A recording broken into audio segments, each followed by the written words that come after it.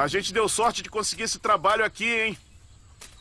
Com o que a gente ganhar, vamos comprar comida e torcer para sobrar dinheiro para comprar as passagens de ônibus. Eu não sei como vamos fazer, amigo. Conseguindo dinheiro ou não, esta noite temos que seguir com a viagem. É. Oh, menos conversa e mais trabalho. Esse caminhão tem que sair daqui com a carga em menos de uma hora. Andando! Vamos! Vamos, anda logo! e vocês também! Que bom que convencemos o Gonzales a deixar a gente levar a mercadoria, né? Já estou a poucos quilômetros de estar ao lado do meu amor. Uhul! Ô José, eu não acho que vai ser tão fácil encontrar a casa do Alessandro. É uma cidade muito grande, cara. Isso não importa. Então vamos bater de porta em porta, mas eu vou encontrá-la. Esta noite eu vou estar ao lado dela, meu amigo.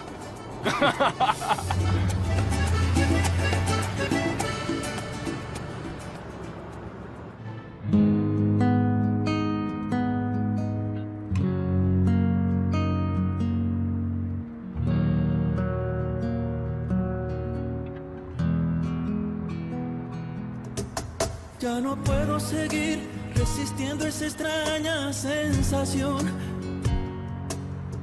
que me hiela la piel como invierno fuera de estación. Tu mirada en la mía, ignorándose en una lejanía. Todo pierde sentido y es mejor el vacío que el olvido. Prefiero dejarte partir que ser tu prisionero. Y no vayas por ahí diciendo ser la dueña de mis sentimientos.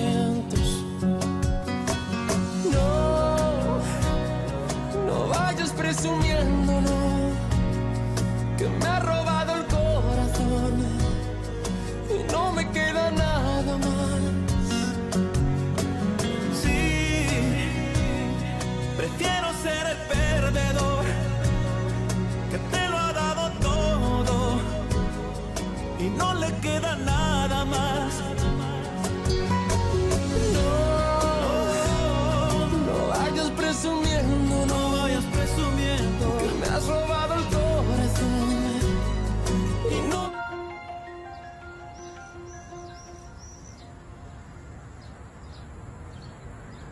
Entenda, pelo menos a gente tentou. Pois é, eu disse que não ia ser fácil encontrá-la. Essa cidade é muito grande. Eu acho que esse tal Alessandro nem é tão rico, nem é tão poderoso. Ninguém conhece ele aqui nessa cidade? Com certeza, aquela senhora, a mãe da Montserrat, mentiu pra Nádia dizendo que eles estavam aqui nessa cidade só pra manter a gente afastado da filha. É, talvez. Hum, liga pra ela. Você não tem o telefone? Não, Hum? não tenho não. E se tivesse, não ligaria. Por quê? Como por quê? Ela é esposa do prefeito da cidade, cara. E se esse cara souber que você e eu estamos vivos, não vamos poder colocar um pé em Água Azul. Mas, José, a gente não pode voltar pra Água Azul. Isso seria suicídio. Eu não sei quanto a você, mas eu vou colocar. Tenho que voltar para investigar onde está a Montserrat, tá? Eu sinto muito.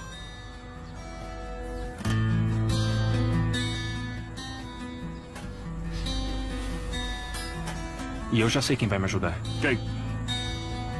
A Esmeralda. Não.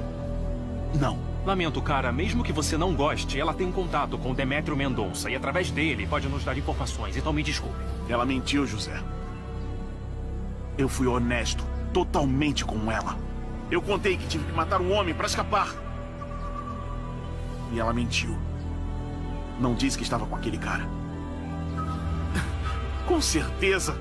Ela até passava informações. Como pode achar que ela estava passando informações? Claro que sim, Mas José. é claro que não. Nós moramos lá por quase um mês, cara. Se ela tivesse feito isso, a polícia teria chegado logo logo. Então não seja bobo. Ela mentiu, José. Ela mentiu. Eu não confio nela. Lembra que foi a Esmeralda que salvou você naquele dia na praça? Você lembra, não é? Pois agora temos duas razões para voltar. Primeiro, tenho que descobrir onde está a Montserrat. E também Qual é a outra, José Luiz? porque você ama a Esmeralda e tem que esclarecer as coisas com ela. Mais uma coisa. Vamos logo pegar um ônibus que com certeza de madrugada a gente chega lá. Vamos.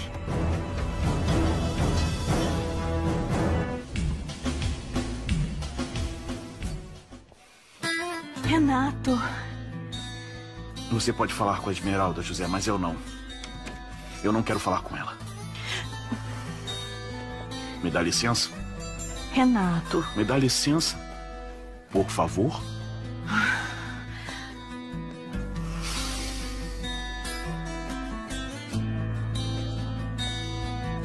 O que aconteceu? Por que ele tá me tratando assim? Porque nós descobrimos que você aceitou enganar a Montserrat. Por que você fez isso, Esmeralda? Por que você se fez passar por uma mulher que supostamente eu tinha enganado? ai, me entenda, por favor. Naquela época eu não conhecia vocês.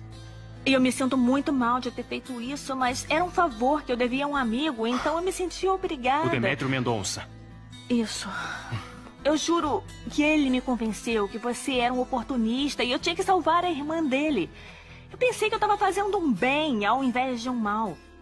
E agora que tá tudo claro, que eu conheço você e vi como tem sofrido por ela, de verdade, José Luiz, eu. Ai, eu tô muito arrependida. Me perdoa. Então você vai ter que me mostrar esse arrependimento me ajudando a encontrar a Montserrat. Claro, isso eu já investiguei. Ia dizer no dia em que vocês desapareceram. Onde ela está? O Alessandro Almonte, o marido, a levou para morar na fazenda. Fica bem perto daqui, a cerca de três horas de Água Azul. No, no vayas presumiendo, no.